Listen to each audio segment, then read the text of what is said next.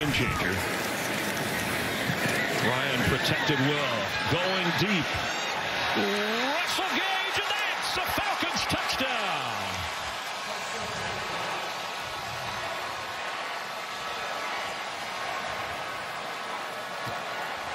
A 49, there's your big play, 49 yards for a touchdown. Yeah. And I, I don't know what the defensive backs for Miami were sitting on. Jevon Holland is going to be number eight. Watch, he's going to be the one in the middle of the field. Watch, he's, he's got his feet set in the turf. And Russell Gage just goes right by, him. you can see Xavier Howard on the